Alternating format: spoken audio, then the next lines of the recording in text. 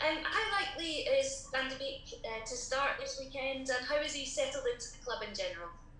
Ah, he's settled in really, uh, really well. Um, he's a smashing uh, boy, great personality, coming in with loads of energy and uh, a big smile every day.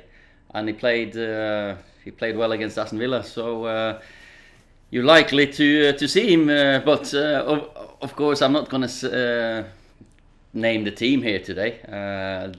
I'll have to do that to the to the boys in training after instead. In terms of uh, your aims for this season, top four, of course, were, was your big hope last year. What would you say would represent a successful season for Manchester United this time round? Well, I think we've we can go into the new season com- with confidence uh, with the way we finished last season. I think that um, that showed what we're capable of, and of course we need to. Uh, uh, we, we we've developed throughout the season, and we need to keep on developing. And I think we've shown the potential. We need more consistency, of course, um, but I think with a year more experience, we should be uh, getting that uh, consistency. And towards the end, uh, the it's a group. I don't really want to say what they cannot do. I think they can they can go as far as they uh, they want themselves.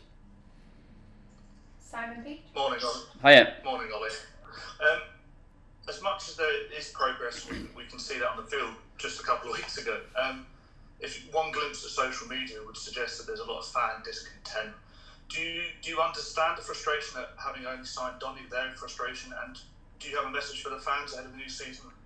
Well, I think, you know, fans will always want the best possible team to watch, uh, the best possible Man United team, and that's that's the the passion we want, and of course the history we've had. We we can uh, uh, look back ten years, twenty years, and of course you uh, you look back at the great players we've had, uh, and for me, I think uh, going forward we need to take a the, the last since since Sir Alex left, we've been average averaging fifth, fifth position.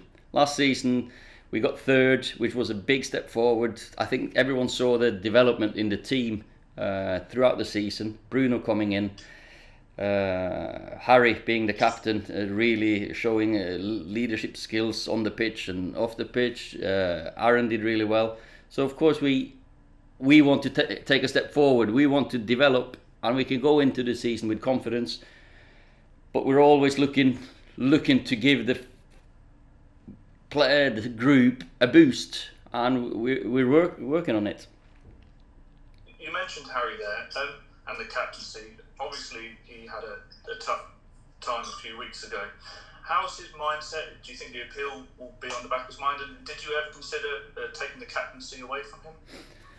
Well, it, that, the the process will keep on going, and uh, knowing Harry, he's, he's a very strong character, so hopefully he can put that apart. But naturally, as a human being, it will be in the back of his mind what's happened this summer, and apart from that, you you just gotta uh, see and see how it develops with Harry. Uh, personally, I think he will be able to focus on his football but then again, who am I to? Uh, how can you? You can't predict how people will react. But so far, he's um, he's trained well. Uh, he's been focused. Uh, so hopefully that process will just go on. And of course, we know it's a it's a something that will go on in the legal department over there.